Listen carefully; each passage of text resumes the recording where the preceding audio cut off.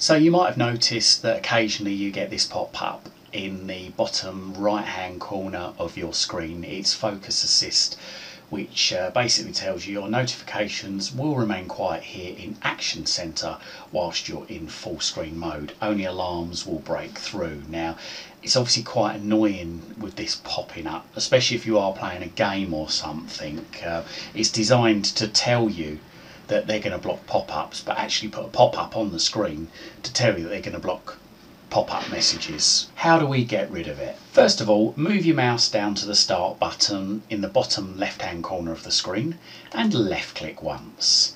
Then move your mouse up to the settings cog just here and left click once. When the Windows settings box opens, in the find a setting here, type focus. Then after a few seconds, this results box should appear below. Move your mouse over Focus Assist Automatic Rules and left click once. Then you'll see this window appear here. Now what we've got is we've got automatic rules just here. So what we need to do is we need to click on each of these and we need to untick something. So first of all I'm going to click on during these times okay and I'm going to uncheck show a notification in Action Center when Focus Assist is turned on automatically. So I'm going to remove that tick by left clicking on the tick. There you go.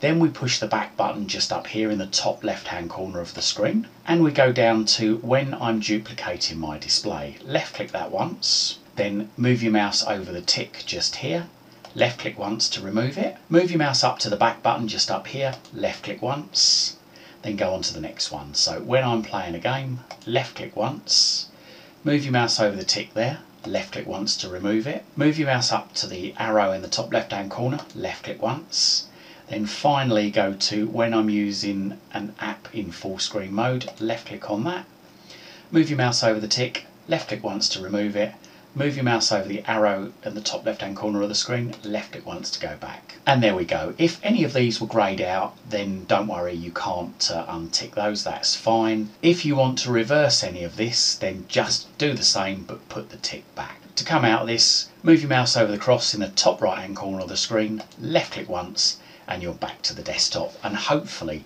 you won't have any more of those annoying focus assist warnings. Hope this guide helps Thanks for watching. Don't forget to check out my other videos in my YouTube channel. Just Google Chris Waite YouTube. And don't forget to like and subscribe to my YouTube channel. Thank you for your support.